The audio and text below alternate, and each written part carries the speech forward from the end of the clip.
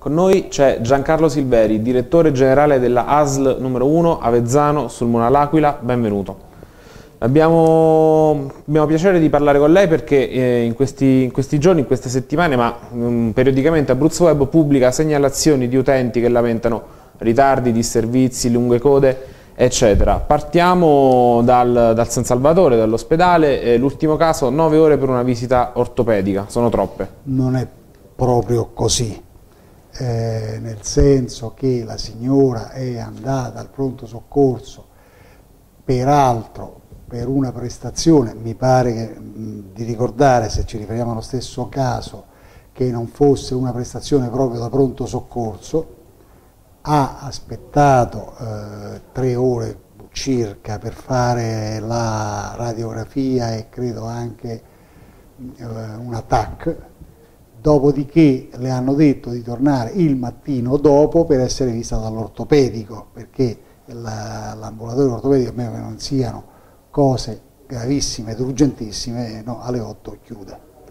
Non fa in giornata. E quindi è tornata la mattina dopo e la mattina dopo chiaramente c'era la calca eh, che c'è normalmente e che adesso stiamo vedendo come risolvere, della quale adesso parlo un momento più diffusamente, sì. per cui ha dovuto aspettare delle altre ore lì, quindi non è 9 ore che è arrivata la mattina alle 9 e uscita la sera alle 18, ma ha dovuto fare questa cosa, eh, per carità non è che va tutto bene, la calca c'è, però la calca nella, allora, eh, nella parte diciamo così ortopedica, eh, ripeto, eh, noi abbiamo anche, anche nel, nel pronto soccorso generale molte prestazioni improprie, non da pronto soccorso eh, spesso il pronto soccorso viene utilizzato per abbreviare i tempi di indagini e di approfondimenti, ovvero perché è un modo per non pagare il ticket. No, diciamolo in modo brutale, ma è così. Eh, comunque sia, eh, tendiamo a far fronte a tutti. Per quanto riguarda la parte del pronto soccorso ortopedico, stiamo eh, facendo in modo, e questo dovrebbe entrare in funzione credo entro il prossimo mese, eh, se ce la facciamo, eh, l'apertura la, e la chiusura della prestazione di pronto, cioè uno arriva, va, fa il triage, il triage lo destinano immediatamente al pronto soccorso ortopedico, non deve prima essere visto dal pronto soccorso generale Generico. e poi da quello, quindi evita una, una, uh -huh. una fila. Dall'altra parte chiedono le consulenze se serve e chiudono lì stesso la, eh, la, la, la pratica di pronto soccorso. Che poi è quello che chiedono i cittadini comunque. Esatto, e quindi sarà il prossimo. Eh, eh, successivamente il tempo necessario per procedere all'assunzione di un medico provvederemo a eh, fare in modo che in caso di necessità di eh, eh, accesso notevole possa intervenire un secondo medico per poter eh, a, a, alleggerire le code. Quindi l'ASL è in grado di assumere comunque in questo momento? La ASL eh, sta eh, sulla base del nuovo atto aziendale definendo la nuova pianta organica. Noi in questa fase siamo facoltizzati ad assumere medici al 90% di quelli che vanno in pensione e eh, personale del, non medico al 40% di quelli che vanno in pensione eh, ci stiamo attenendo a questo e, e sulla base della, della, della, della, pianta organica che scaturisce dal nuovo atto aziendale poi vedremo come fronteggiare eventuali esigenze. Credo però che la ottimizzazione dei servizi e la razionalizzazione ci consente di poter fare già molto con quello che abbiamo e che comunque già possiamo assumere. Va bene, andiamo al distretto sanitario di Collemaggio, anche lì ci sono state delle lamentele, soprattutto per, per le code. Eh, sì, in un eh, episodio, che scusa se la interrompo, ci fu addirittura delle scene, vennero chiamati carabinieri, insomma ci sono state delle eh, scene lì il problema, molto toste. il problema derivava dal fatto che eh, per quel tipo di prestazione era necessario poter accedere all'anagrafe del, del, del, del, Ministero delle, delle Finanze e era inibito l'accesso al sito, mm. per cui di fatto noi, noi, potevamo servire i cittadini accedendo a quel sito se non, il sito era inaccessibile. Per altri casi insomma non mi pare che le cose siano spesso così. Eh, io vorrei eh, dire questo, noi eh, siamo un'azienda eh, che in questo momento ha circa 3.800 dipendenti su tutta la provincia, eh, siamo un'azienda in fase di fusione fra due aziende preesistenti e naturalmente i posti eh, che possono essere appetibili vanno a restringersi, vanno a comprimersi e in molti casi quindi alcune aspirazioni possono essere deluse. La delusione delle aspirazioni può portare sia nel mondo dei medici, può portare, non detto che porta, sia nel mondo del personale non medico, anche amministrativo, a qualche esasperazione e quindi a eh, giochetti di vario genere ai quali assistiamo con eh, lamentele ci non sono, sempre pertinenti. Ci sono dei delatori secondo lei? No, delatori, il delatore è colui che dice una verità quello che crea il problema non è delatore, è un impiegato o un dipendente comunque infedele. Non dico che sempre è così, può anche essere questo. Però non, diciamo che non tutti i servizi sono rose e fiori. No, per carità. Ma il giorno in cui in sanità tutto dovesse funzionare eh, perfettamente, credo che non lo vedremo mai, perché poi, eh, ringraziando Dio, è un mondo in evoluzione continua eh, sia sotto il profilo organizzativo che delle scoperte scientifiche, eh, per cui eh, delle apparecchiature, delle, delle, attrezzature elettromedicali, quindi sono, eh, certo. per cui è chiaro che c'è sempre qualcosa in più da fare. Nel nostro caso, eh, no, non ci dimentichiamo, noi siamo un'azienda che si trova a dover in primo luogo fare la normale gestione di un'azienda sanitaria, farlo in una logica di unificazione fra ex aziende che non è cosa ordinaria né facile, tenendo conto che Avezzano sul Mona Castel di Sangro eh, avevano fatto una fusione ma era sulla carta, nella sostanza non c'era mai stata e quindi dovendo fare unica azienda davvero questa volta. Il terzo caso, questa cosa la dobbiamo fare in una fase di riordine e di rientro perché siamo una regione commissariata eh, il quarto caso è che la, la, dobbiamo fare in una situazione di post terremoto all'Aquila. Eh, noi siamo una regione in piano di rientro, una regione commissariata perché non riusciamo a farci bastare i soldi che ci vengono dati per fare assistenza, diversamente come avviene invece in altre regioni italiane. Le chiedo una cosa su questo, Prego. la sanità è probabilmente il primo dei servizi, insomma tra i primi comunque per i cittadini. Possibile che per un servizio che garantisce appunto la salute, quindi la vita dei cittadini, si debba ragionare nell'ottica dell'azienda, quindi del, del, produrre profitto. Forse non, questa no, mentalità no, andrebbe applicata da un'altra parte. No, no, no, no, no, no, no, no, no, non è, non è corretto, consenta, non è corretto. Allora, eh, a noi viene dato un contributo dal Servizio Sanitario Nazionale che è rapportato ai cittadini che abbiamo residenti e al peso della popolazione, quindi è un contributo pesato perché se io ci avessi tutti anziani è chiaro che avrei bisogno di maggiori eh, con, contributo dal Servizio Sanitario Nazionale che se avessi tutti giovani, no? Ovviamente. Certo. Per cui è pesato. Eh, noi non dobbiamo fare utili, perché man mano che abbiamo risorse le possiamo spendere e le dobbiamo spendere per migliorare, per ammodernare, per fare di più e meglio. È un'utopia che, questa, non è che, no, non è un'utopia, no, assolutamente no. Noi non è che dobbiamo fare dividendi, il dividendo non esiste. Eh, quello che abbiamo è che eh, abbiamo debiti pregressi per, per, eh, per eh, eh, bilanci chiusi in rosso negli anni passati che nella sommatoria delle due ex aziende ammontano a 180 milioni di euro. Per cui no, lì dobbiamo poi in qualche modo metterci mano Certo. Eh, allora, io è chiaro che nel momento in cui dovessi avere un utile, ne approfitto perché non è che me ne accorgo alla fine dell'anno, man mano che mm-hmm. vado avanti, peraltro adesso che siamo in fase di eh, commissariamento ogni mese dobbiamo mandare ai ministeri della salute e dell'economia il rendiconto di come siamo combinati, per cui man mano che vedo che andiamo avanti bene eh, provvedo a fare investimenti, provvedo a fare eh, ammodernamenti e, e, quanto altro utile e possibile. Eh, quindi devo dire anche che questo eh, piano di, di, riordino e di rientro eh, è stato fatto senza eh, una mentalità e una visione di tipo ragionieristico si è provveduto a razionalizzare l'esistente. Cioè, quello che io voglio dire è questo. L'assetto di un'azienda lo definisce l'atto aziendale, che è lo strumento di organizzazione certo. e, e, di, e, di, programmazione, riorganizzazione e, e strutturazione organizzativa dell'azienda.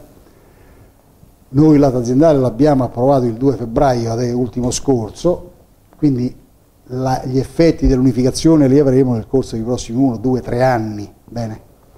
Nonostante questo, avendo cura e attenzione e facendo le cose, perché l'ospedale dell'Aquila lo abbiamo recuperato e lo stiamo recuperando. A proposito altre di questo, adesso le ne parleremo, no, e altre cose, abbiamo potuto chiudere il bilancio di quest'anno a pareggio.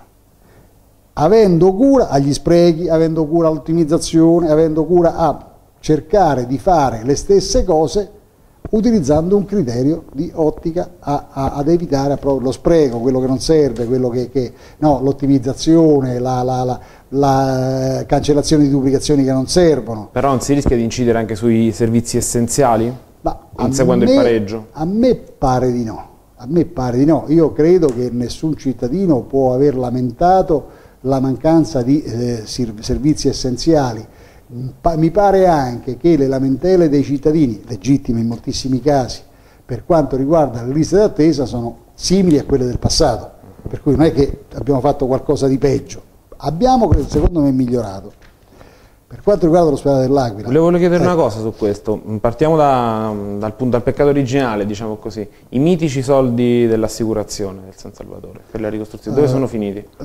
Rispondo con una domanda e poi spiego. Va bene. bene. Noi l'ospedale dell'Aquila lo abbiamo eh, recuperato fino ad oggi portando i posti letto a 368, noi eh, secondo piano sanitario dobbiamo fare, ne dobbiamo avere 400, i posti letto a 368, abbiamo recuperato tutto il reparto operatorio, i pronto soccorso, eh, la rianimazione, la emodinamica e con la, la, la, la unità coronarica e, e, e, il laboratorio analisi, la senologia, eh, stiamo completando, credo che nei, nei primi giorni della prossima settimana si trasferisce la farmacia nei locali definitivi, si trasferisce l'anatomia la, eh, patologica nei locali definitivi per una parte, l'altra parte sarà pronta entro giugno. Insomma, il no, il cantiere è in corso, abbiamo speso fino ad oggi eh,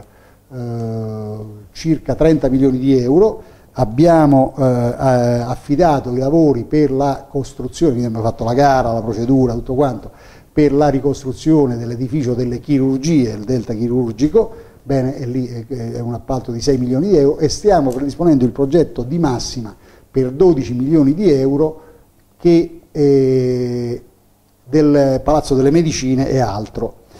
Eh, quindi, Siamo a 50 tra tutto, sì, facendo un corso, no? Modo, ecco, questi soldi li abbiamo spesi, per cui ci sono stati dati per la costruzione dell'ospedale.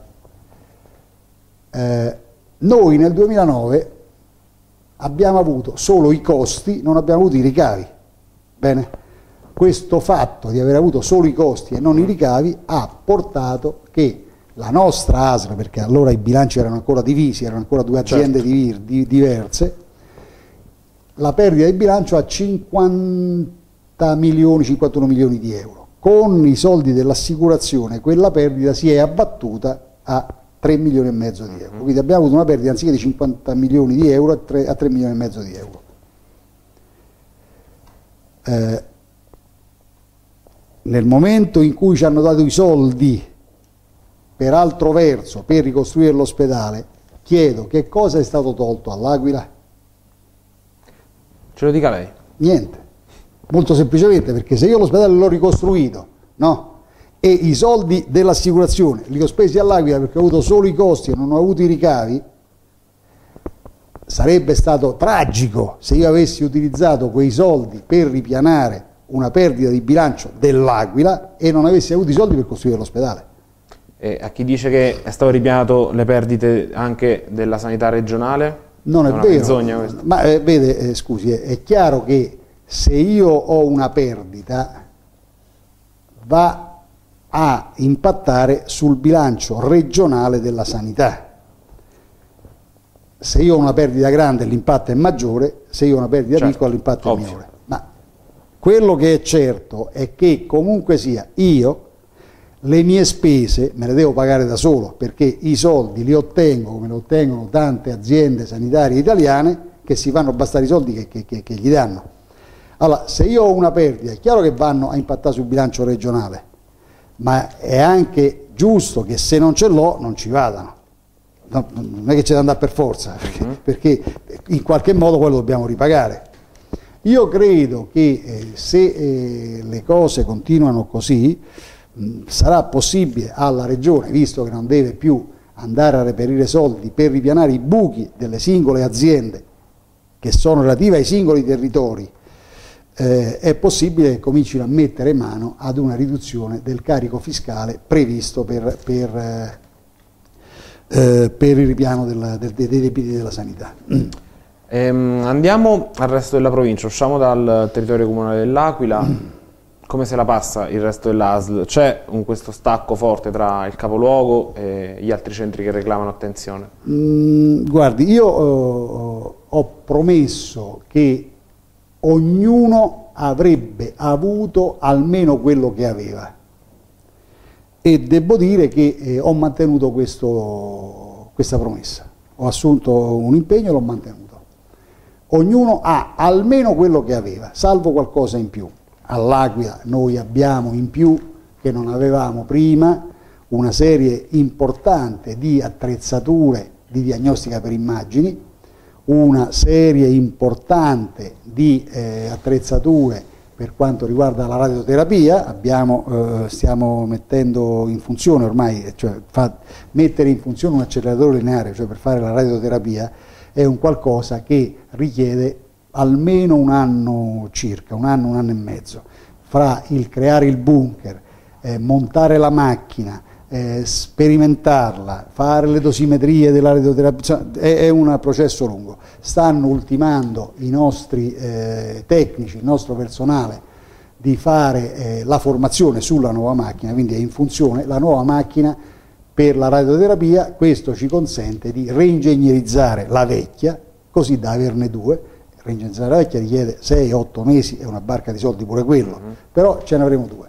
Abbiamo una macchina per la brachiterapia, che è eh, una, una macchina che consente di, installare dei semi eh, radioattivi in sito. In Questo sempre di, per l'Aquila? Se, all'Aquila, all'Aquila. Noi Ma il resto della provincia non rischia di insorgere e dire troppo sull'Aquila? No, perché queste cose vanno accentrate, cioè tutto quello che è eh, eh, di eh, radioattività è necessariamente deve essere accentrato, non possiamo permetterci il lusso di disperderlo.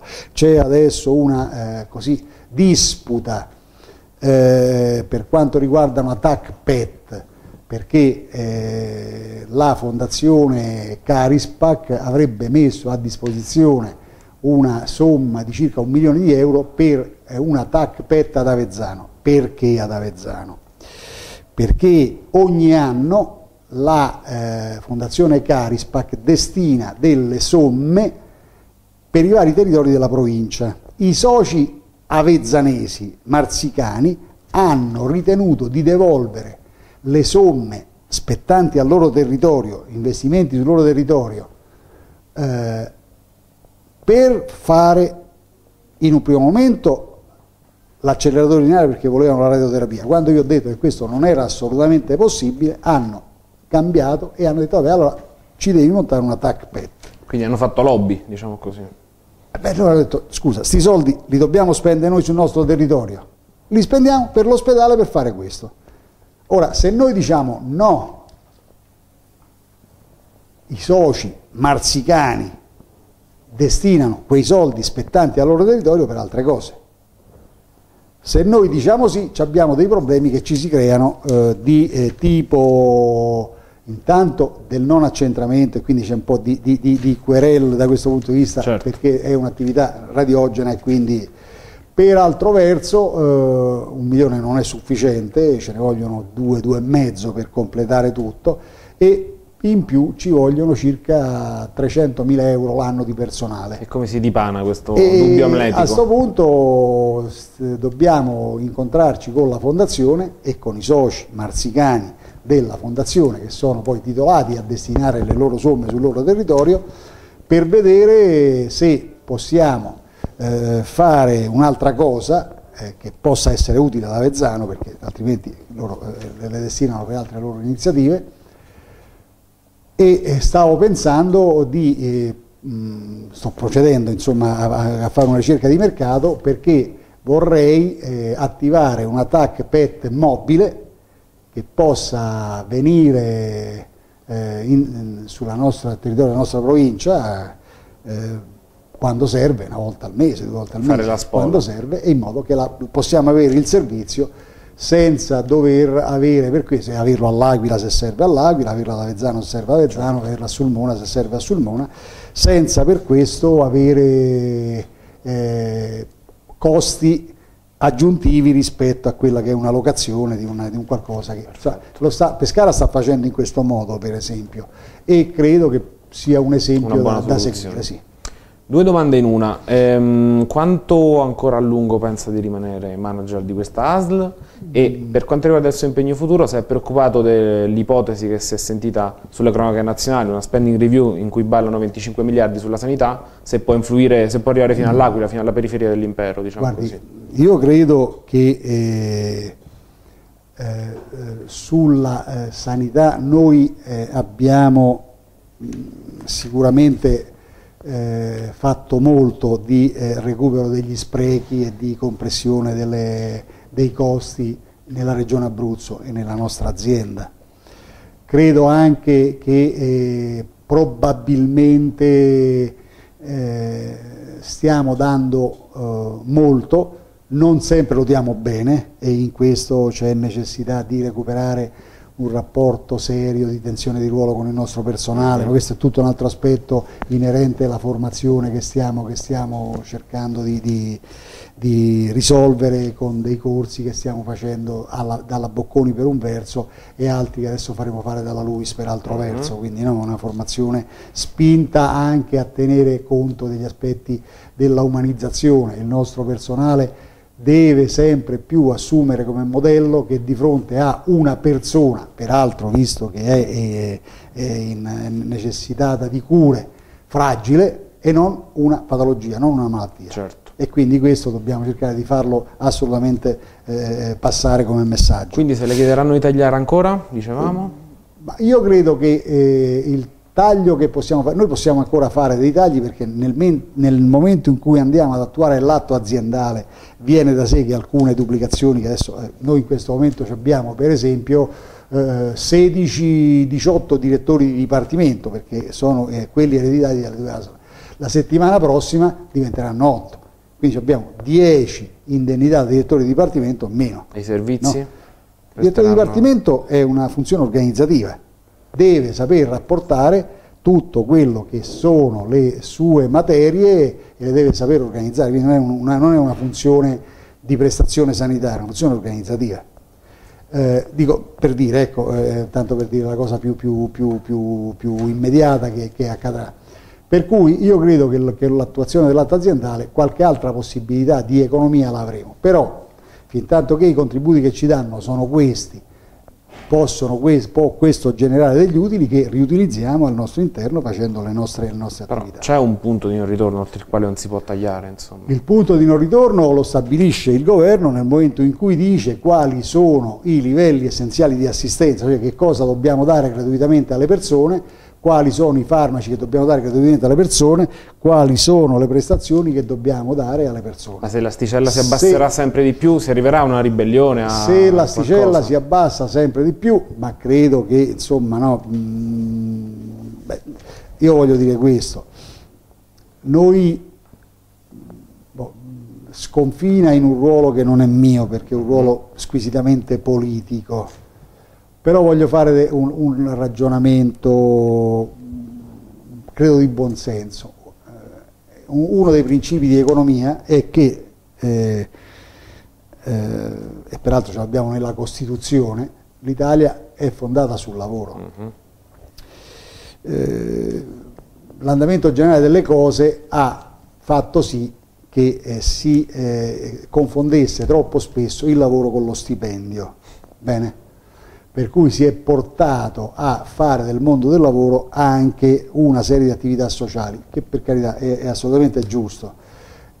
Se te lo puoi permettere è assolutamente giusto. Quando non te lo puoi permettere, devi fare in modo che il lavoro faccia la sua parte di creare ricchezza che ti consente anche di fare poi gli aspetti sociali, gli aspetti di tutto quello che è un, un vivere decoroso. Noi probabilmente eh, abbiamo eh, in una in situazione politicamente bloccata come è stata in Italia dal dopoguerra fino agli anni 90, eh, in cui poi alla fine eh, si tacitava chi urlava, no? Eh, si è creata tutta una serie di serre eh, ognuno eh, sta bene nella sua serra, il problema è che quando esce dalla sua serra e va in un'altra serra si trova ad impattare con un mondo che guarda alla sua serra e quindi eh, abbiamo di fatto oh, un eh, quadro normativo contrattuale che è sempre molto attento agli addetti ai lavori e un po' meno attento al cittadino. Mm -hmm. ecco, no? Allora eh, se eh, riusciamo a riconvertire questo, questo fenomeno eh, attraverso una, una, maggiore tensione di ruolo, per esempio attraverso una maggiore possibilità di richiamare le persone a svolgere il proprio compito, a guadagnarsi lo stipendio, perché poi non sempre è così e eh, non sempre è facile, specie nella pubblica amministrazione, eh, affermare questo tipo di cultura dove insomma no, per tanti anni si è preferito utilizzare quelli che avevano voglia di essere utilizzati certo. e gli altri lasciarli in un angolo. Quindi lei non è preoccupato per un'eccessiva sforbiciata nel Io futuro? credo che eh, non, si può, non, si può, salvare l'Italia aumentando le tasse a dismisura. Io credo che si debba, debba avere il coraggio di eh, togliere quello che non serve. Io dico, noi abbiamo una provincia con 300.000 abitanti, 310.000 abitanti Abbiamo bisogno, come avevamo, eh, di 6-7 ospedali? Probabilmente no, anche perché abbiamo visto poi che i piccoli ospedali eh, questa è una questione sono, sono, neanche utili alla gente perché poi da, da un eh, studio fatto molto seriamente dall'Agenzia Sanitaria Nazionale e dal Ministero della Salute è venuto fuori, eh, è uno studio interessante perché ha preso in esame tutte le prestazioni fatte da tutti i reparti ospedalieri pubblici e privati italiani degli ultimi sei anni, con che cosa hai fatto, quanto, eh, quanto è stata la degenza, quanto è stata la eh, sopravvivenza a, a, 30 giorni, quanto è stato il percorso diagnostico che hai fatto, il percorso terapeutico, fatto molto bene. E si è visto che eh, nei piccoli ospedali eh, tutto sommato eh, la richiesta di assistenza da parte degli abitanti era piuttosto scarsa, cioè la gente, l'ospedale ce l'aveva vicino perché così chi lavorava nell'ospedale era là vicino, poteva stare vicino casa, per le cose più banali andavano lì, se, se è una cosa seria andavano da un'altra parte. Questa però è una questione infinita perché anche le obiezioni sono belle corpose, insomma, sul territorio, dei presidi, eccetera. Però magari... Presi, ma qui c'è, un equivoco di fondo. Noi pensiamo, per, e abbiamo sbagliato, abbiamo sbagliato noi, noi, noi, sanità, io, io non c'ero, insomma no, perché abbiamo lasciato pensare alla gente, che, alla gente che sanità uguale ospedale. Non è così, è stato tradito lo spirito della, della norma sanità è casa propria e poi via via certo. più vicino casa possibile fino all'ospedale. Più vicino possibile, però garantisce un servizio migliore. Ma l'ospedale che garantisce un servizio migliore serve per le acuzie per le quali c'è bisogno dell'ospedale, perché il medico di medicina generale, il territorio, il distretto sanitario deve poter assicurare tutto quello che non è acuzie Nell'immediato noi invece abbiamo mandato sul territorio i medici che in ospedale non ci volevano più stare o che avevano litigato col primario, magari demotivati perché se io faccio il medico no, e litigo col primario non posso più svolgere il mio mestiere come dico io, bene, è chiaro che mi spostano, mi demotivo, per cui ab abbiamo creato un qualcosa per cui sanità e ospedale. Tutto il resto, se, se c'è una cosa semplice ci vado, se no no. È sbagliato. Noi dobbiamo riportare ognuno a fare il suo mestiere come è prescritto e farlo con autorevolezza, farlo controllando. Allora probabilmente ci si rende conto che essendo l'ospedale per le cose serie bisogna andare dove le si fanno sfare e le, sanno, le sanno fare dove ne fanno tante e non dove ne fanno poche. Il dibattito resta aperto su questo. Il dibattito resta aperto, però su questo io credo, io eh, in una delle prossime occasioni porterò quello che sono le risultanze di questo studio di cui parlavo poc'anzi per quanto riguarda tanti piccoli ospedali. Va bene. L'ultima domanda, dobbiamo chiudere, ehm, gliel'avevo già fatta, gliela ricordo, fino a quando si vede il direttore generale dell'ASL, fino a quando, cosa vorrà fare dopo? Allora, io, eh, il mio carico scade il 31 dicembre di quest'anno. Io sono abituato a lavorare come se dovessi rimanere nei posti 100 anni, perché non concepisco il, il tradimento del ruolo, bene? Eh, e dico con tantissima sincerità, se dovessi decidere io se rimanere o andarmene, non saprei che cosa decidere. È talmente gravoso questo incarico, talmente impegnativo che mi consiglia di fuggire il più presto possibile. Dall'altro è tanto il lavoro avviato che la coscienza mi direbbe di rimanere. Siccome la decisione non è mia, è della giunta regionale, il problema è loro, non è mio. A me va bene qualunque cosa. Grazie. A voi.